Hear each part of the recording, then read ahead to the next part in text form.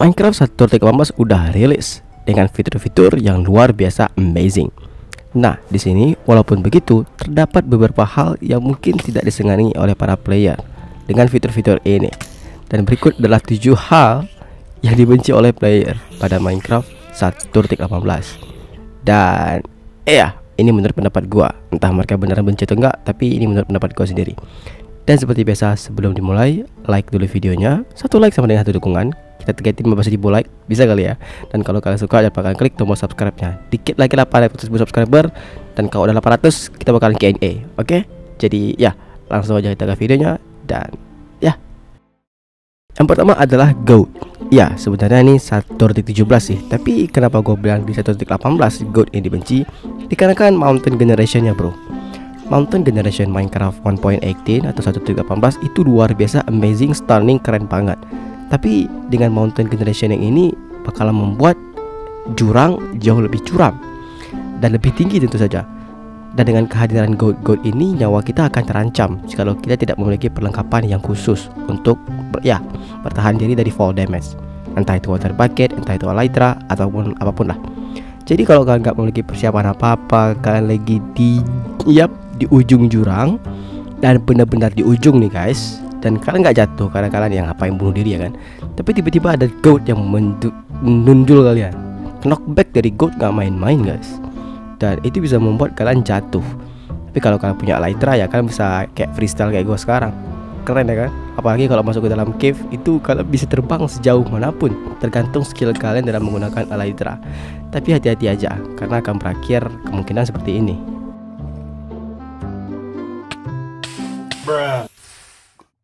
Oke, okay, yang kedua adalah Dripstone Cave. Stalagmite, stalactites. Ini ngeri banget dan dibenci para player. Jangan bohong. Oke, okay, pada Minecraft 1.17 Dripstone Cave itu belum ada guys. Ya, belum ditambahkan.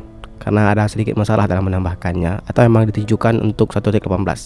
Tapi ini, ini ini stalagmite dan stalactites ini, ini mampus berbahaya banget guys. Ini kayak anvil, tapi di dalam gua dan ada kemungkinan jatuh ya tepat di atas kalian jadi kalau kalian darah tinggal berapa health lebar lagi, misalkan kalian dikejar oleh creeper lalu diledakkan, tapi kalian masih selamat, tapi tiba-tiba ini ini stalagmite dan stalactite jatuh di hadapan kalian. Pertama jatuh di depan kalian, wuh kaget. Tiba di atas kepala kalian, wuh mati. Jadi ini mau ngaco banget seriusan. Dan orang benci banget dengan ini. Tapi gua nggak benci sih, karena gua gua jago. Yang nggak jago juga sih. Cuman ya nggak tahu sih. Mungkin di survival ke depannya gue bakal mati karena ini ya. Jadi gue gue gue take back kata-kata gue balik ya. Gue ambil kata-kata gue balik ya. Gue ralat ya guys. Sorry. Oke yang ketiga dan keempat. Ya dua. Yang pertama itu yang ketiga sorry. Itu gelap. Ini gelap banget guys. Seriusan. Satu titik 18 itu kalau kalian pakai shader yang gelap kayak gua Sildurs atau nggak pakai shader aja itu udah gelap banget. Seriusan gelap banget. Dan di sini areanya itu gede luas banget. Nah yang keempat apa bang? Yang keempat itu mob di mana-mana guys dikarenakan cave terbuka area yang gelap pastinya mob bakalan spawn di situ. Creeper zombie skeleton yang paling bahaya. Di antara semuanya creeper bahaya sih cuman kita masih bisa was-was. Tapi kalau skeleton itu agak susah dilawan. Itu mengerikan banget. Apalagi gelap kalian nggak tahu mereka di mana. Tiba-tiba bayangin aja kalian ditembak dengan menggunakan anak panah oleh skeleton.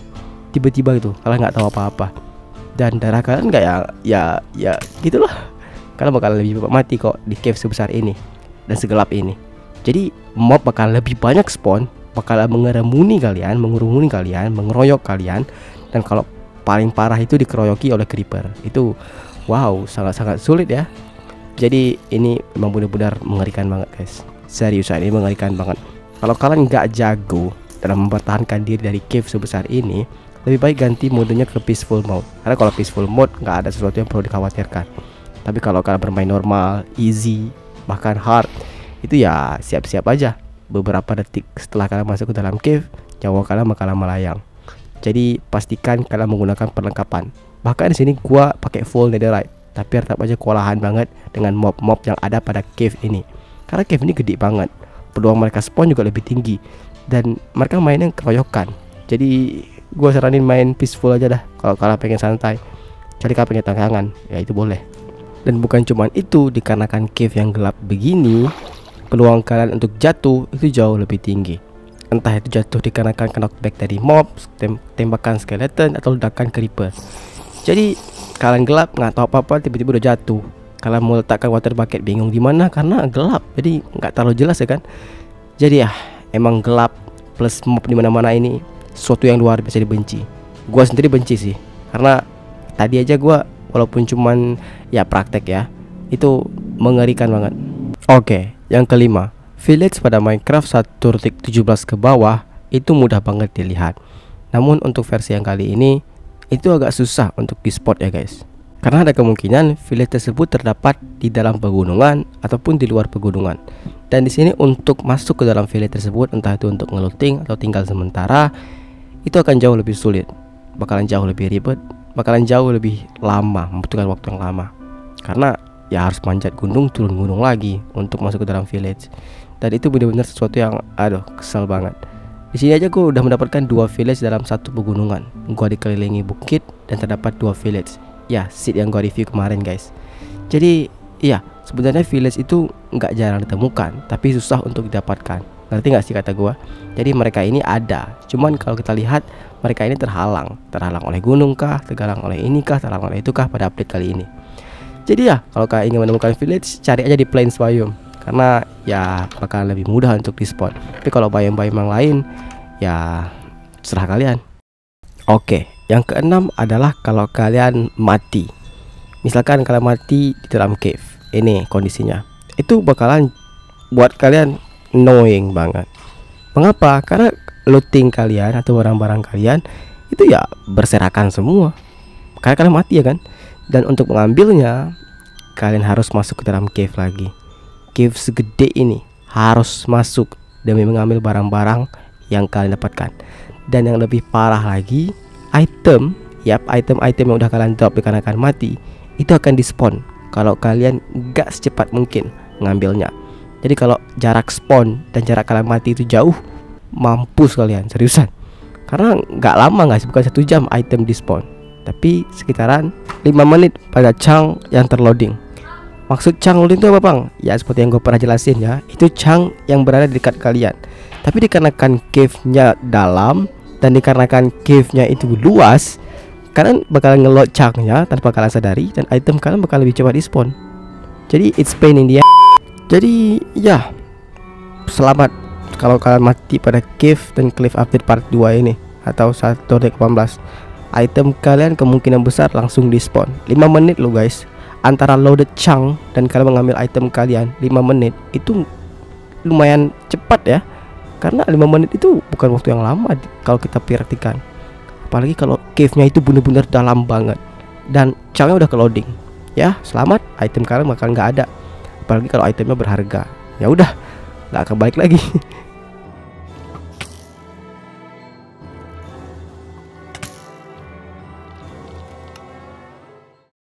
Oke, yang terakhir adalah build up.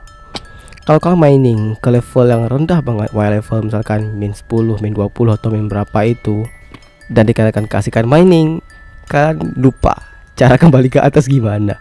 Bro, Y level paling rendah itu 64, tapi minus, minus 64. Jadi bukan minus 0 lagi tapi minus 64. Ya nggak ada minus 0 sorry, minus 1 sorry. Eh bukan minus 1 1. Jadi Iya Kalau udah dalam banget Dan kalian pengen naik ke atas lagi Itu mampus susah banget Kalian lihat aja tuh Itu adalah cahaya matahari Dan gua harus ke situ Untuk keluar dari gua ini Dan kalau tangkapan kalian atau mining kalian cuma sedikit Dan kalian harus keluar. Hmm. Selamat. Bakalan membutuhkan waktu yang luar biasa lama. Kalau pakai blok naik ke atas gini kan ribet banget. Jadi kan emang harus benar-benar parkour Dari atas sampai Dari bawah sampai ke atas. Kalian bisa lihat ini Y level paling rendah adalah minus 64 jadi kalau kalian udah dalam banget tanpa kalian sadari kalian itu udah terlalu dalam sampai-sampai bahkan kesulitan banget nanti untuk naik ke atas kembali. Jadi hati-hati guys. Untuk cave dan cave update di part 2 ini. Kalau mining jangan terlalu dalam. Cari aja yang udah dekat dengan surface. Dan tenang aja diamond masih bisa ada kok di situ. Walaupun agak sedikit jarang ya kalau di atas atas gitu. Biasanya kan diamond di bawah-bawah deh guys. Di level rendah. Tapi gue trik dan solusinya. Kalau kalian nggak mau ribet banget naik ke atas gitu. Ini trik luar biasa fantastic amazing banget literally so cool AF jadi ya triknya itu menggunakan ender pearl stasis chamber Kalian pasti ngerti maksud gue kan? Ender Pearl status chamber itu gimana? Dan dikarenakan gue lagi kepengen kasih tahu kalian gue bukan kasih tahu cara bikinnya gimana. Simple banget. Dan btw ini yang gue buat Ender Pearl status chamber yang Java. Dan Bedrock bisa tapi ada ya bangunannya sendiri atau ada buildingnya sendiri. Jadi building status chamber Bedrock Java itu beda guys. Jadi kalau Minecraft Java kayak gini. Kalau Minecraft Bedrock kalian lihat tutorial di YouTube oke? Okay? Oke, caranya yang pertama, kalian gali 8 blok dalam. Ini di rumah kalian ya, jangan sampai ada mob yang menyentuhnya. Letakkan soul sand, letakkan air di tempat yang paling atas. Setelah itu tunggu sebentar untuk airnya jatuh ke bawah. Lalu di sini kalian berikan kelp dari bawah sampai ke atas. Nah, di sini Petruk nggak bisa letakkan kelp di atas soul sand ya guys ya, makanya gue bilang nggak bisa. Lalu kalian hancurkan kelpnya. Nah, di sini beberapa detik kemudian bubble up dan kalian akan melambung ke atas. Setelah itu kalian letakkan daylight sensor seperti ini, lalu trapdoor seperti ini guys. Nah, setelah itu kalian lempar ender pearl ke area yang nggak kena dengan blok-blok sekitarnya. Dan usahakan seperti yang gue bilang tadi, jangan di tempat yang ada mob karena kalau mob menginjak tempat ender pearl saya chamber kalian tanpa kalian sadari kalian bakal teleport balik. Jadi hati-hati buatlah perlindungan untuk stasis chamber ini. Nah, di sini kalian bisa pergi mining sesuka hati kalian dan pada waktu malam hari kalian bakalan kembali lagi ke tempat asal kalian atau ke tempat kalian melempar ender pearl itu. Dan ini tips yang luar biasa useful. Tapi perlu kalian catat kalau pagi hari aktifkannya seperti ini guys ya. Yap warnanya seperti itu dan tab seperti itu.